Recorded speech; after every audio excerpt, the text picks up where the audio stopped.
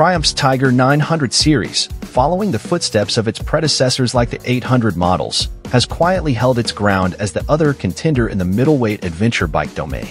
It embodies all the quintessential traits expected from an ADV bike, effortlessly covering long distances while tackling off-road escapades with aplomb.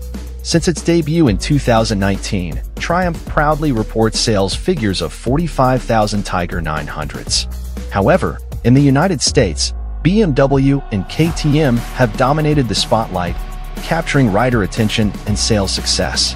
But after spending two days test riding the 2024 Tiger 900 GT Pro and Rally Pro, it seems the tides might be turning. The Tiger 900 boasts a unique feature that sets it apart from its middleweight ADV counterparts, the captivating growl of its T-Plane triple engine. For 2024, Triumph has boosted the claimed horsepower output of this three-cylinder power plant by an impressive 13%, propelling the Tiger from being one of the less potent options in its class to the most formidable. Additionally, Triumph has made slight reductions in weight, enhancing the power-to-weight ratio. The lineup has also been streamlined, now consisting of just three models, the Tiger 900 GT, GT Pro, and Rally Pro. Will these enhancements be sufficient to catapult it to the forefront of riders' minds? As I navigated Spanish mountain fire roads aboard the Tiger 900 Rally Pro alongside Jeff Stanton, six-time motocross slash supercross champion and Triumph ambassador, the amalgamation of newfound power and versatile chassis demanded my undivided attention. The experience was a thrilling symphony of cutting, thrusting, sliding, wheelie ing, and repeating. One cannot afford to overlook this ADV machine. Tiger 900 engine and electronics. All three models in the Tiger 900 lineup share common features and architecture, with the engine being the standout element. Triumph introduced its T-Plane crank in 2019, delivering a torque delivery and sound reminiscent of a V-twin, coupled with the long RPM range characteristic of an inline-four. Despite its distinctive character, it lagged behind its twin-powered rivals in terms of power. However, that's no longer the case. A redesigned cylinder head features larger intake and revised exhaust ports, along with higher lift intake and exhaust cams, and 15mm longer intake trumpets. The addition of new pistons raises the compression ratio from 11.3 to 1 to 13.0 to 1, with a primary focus on optimizing the triple's breathing capability.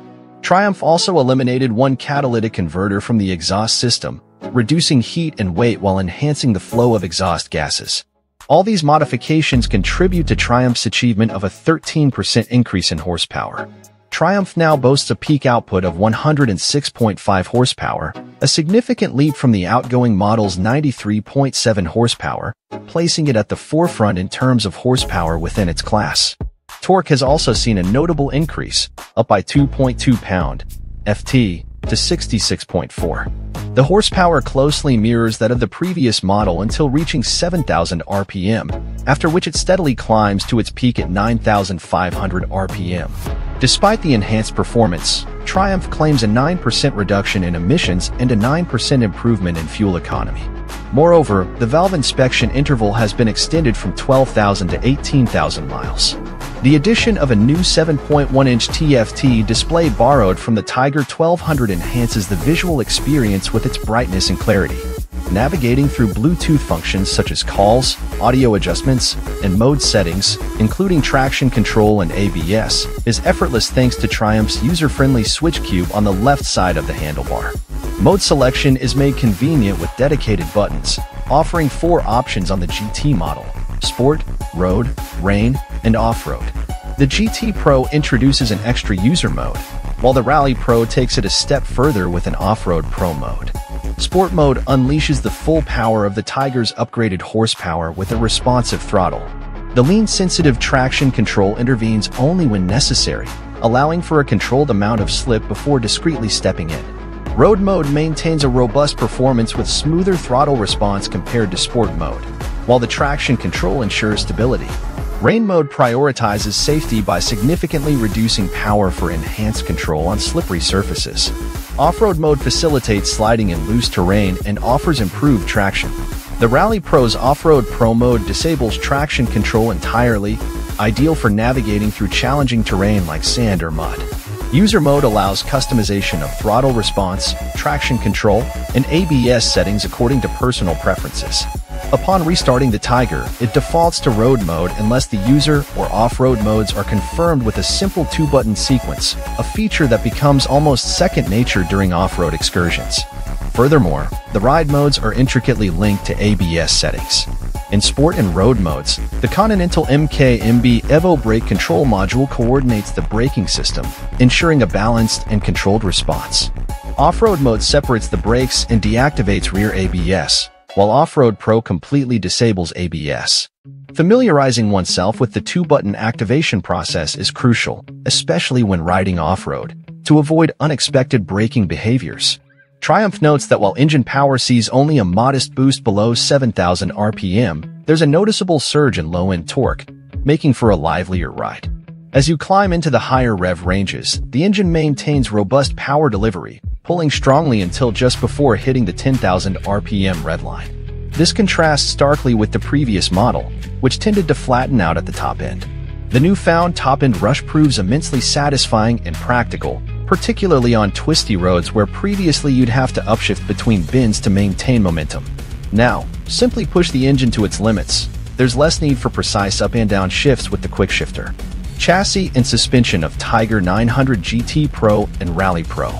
While the engine remains consistent across all three Tiger 900 models, the GT and Rally variants distinguish themselves with unique suspension setups, wheel configurations, tire choices, and frames resulting in distinct handling characteristics and capabilities.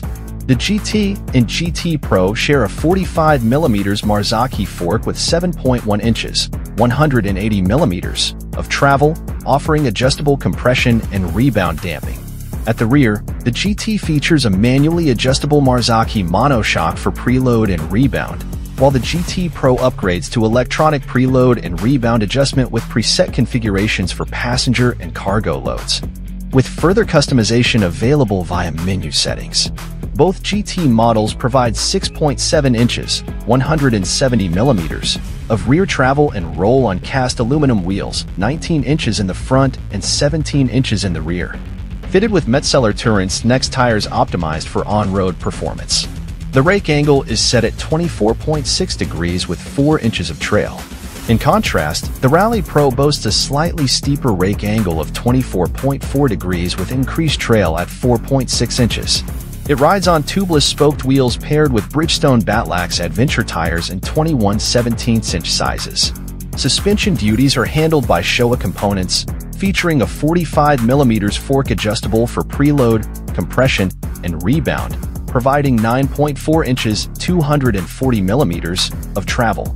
At the rear, a fully adjustable monoshock offers 9.1 inches 230 millimeters of travel, with all adjustments done manually. Consequently, the Rally Pro's seat height is elevated to a minimum of 33.9 inches, 34.7 inches in the high position, compared to the GT and GT Pro's 32.2-33.1 inches. Triumph Tiger 900 GT Pro Road Performance our initial testing day unfolded on the winding roads above Malaga, Spain, with a focus on evaluating the touring and sport capabilities of the GT Pro and Rally Pro models. Despite chilly temperatures ranging from 40 to 55 degrees Fahrenheit and less than perfect road conditions marked by dust and dirt, most of our time was spent aboard the GT Pro, delving into its road-oriented features and performance.